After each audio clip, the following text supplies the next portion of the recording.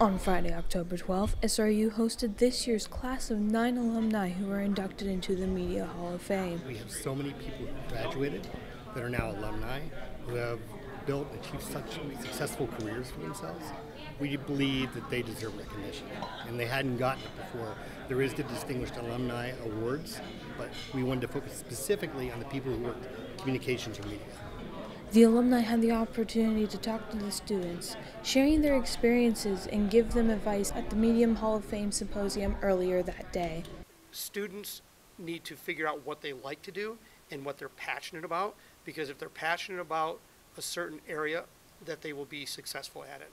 And then once they're successful and get into what they're going to do, they need to learn to evolve because, especially in the communication building, uh, the business, uh, in television and digital, things change daily, and so you need to be able to evolve, uh, keeping your passion, uh, but but staying ahead of the business.